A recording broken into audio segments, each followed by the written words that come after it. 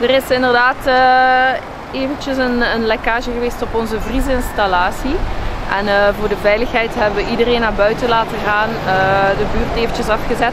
De brandweer is ook langsgekomen en zij hebben het, het probleem kunnen oplossen voor de moment. Dus dadelijk gaan we ook weer allemaal netjes naar binnen kunnen gaan. Maar eventjes voor de, voor de verduidelijking, er is absoluut geen probleem. Eén voor de, voor de mensen die er werken.